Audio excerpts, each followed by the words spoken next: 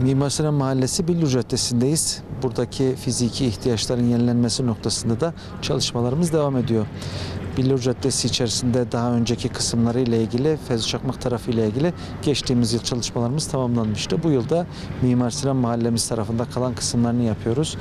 Altyapı ile ilgili burada MOBESE ve diğer altyapı kurumlarının yapması gereken tadilatlar, değişimler arkamızda görüldüğü üzere çalışmalar devam ediyor. Ve hemen onların akabinde de inşallah Kocasinan Belediyesi olarak asfaltlama çalışmalarını tamamlayıp vatandaşlarımızın hizmetine sunacağız.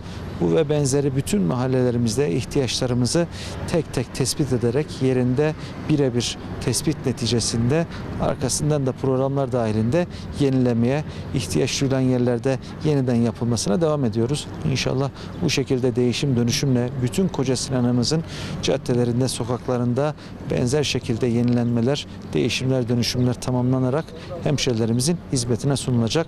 İyi günlerde kullanılmasını diliyorum. Kazasız belasız, sağlıkla, huzur içerisinde kullanılmasını diliyorum.